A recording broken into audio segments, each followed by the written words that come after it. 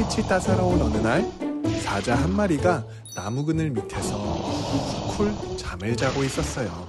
그때 나무에 있던 생쥐 한 마리가 사자가 밑에 있는 줄도 모르고 밖으로 나오려고 하네요. 쪼르르르르르르 영차 영차 이샤 쪼르르르 나무를 타고 내려오던 생쥐가 아이쿠 그만 사자와 부딪히고 말았어요. 아니 누가 잠자는 사자의 코트를 건드려? 어치 잡았다.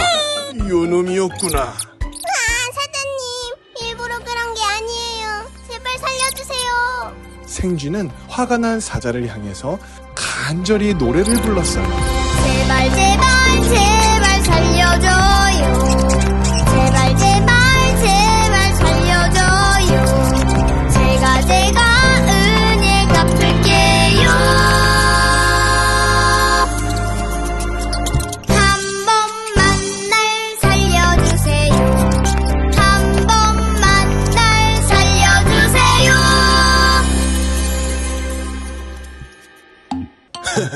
너같이 조그만 생쥐가 뭐 은혜를 갚을 일이 있을지는 모르겠지만 너의 노래가 간절하니 내 한 번은 풀어주도록 하지.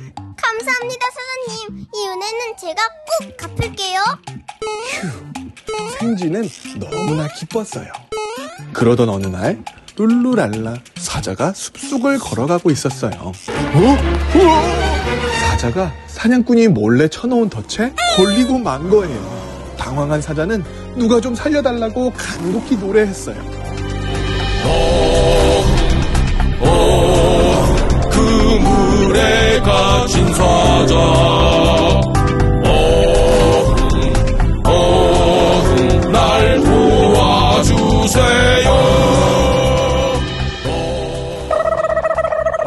바로 그때 사자를 도와줄 누군가가 달려오네요.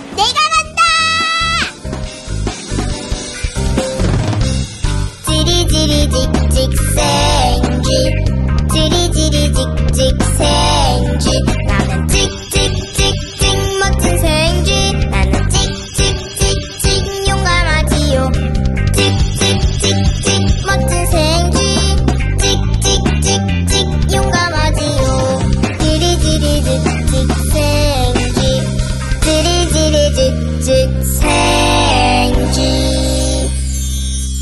사장님, 걱정 마세요. 제가 구해드릴게요.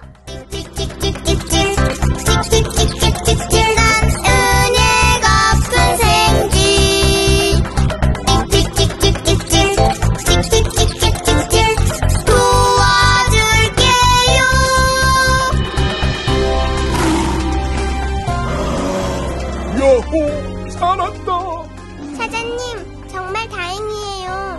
고맙다 생쥐야.